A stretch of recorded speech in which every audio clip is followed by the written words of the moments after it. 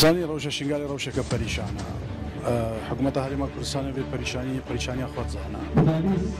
دیالوگ دانستان در بین کوردستان و عراق دوام یک هفته نشنگالی باشترین باشترین کلا جارسیلی بو علاج کردن روشه شنگال پریشان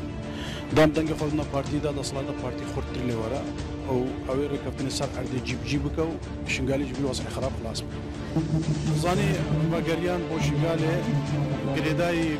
تجاشتنا كان ما بين العراق والكردستان قربنا ركبتنا من باص كذا ما بين حولنا ركبتنا حتى نوصل كاخزينا شو صار عندي تم همي خوطة مش حسب أخو من ده هاري كاريا ما بكش بنا جيب شي كنا ركبتنا شو كم خابن أفريقيا ما شركة ما حكمته بجن أفريقيا فتنا نبينا بارتي بخازمية Em adam rekaftan rekaftına parti ya. Dünya ham hamim bitmiş parti mi da parti ve rekaftına sen artıya cip cip.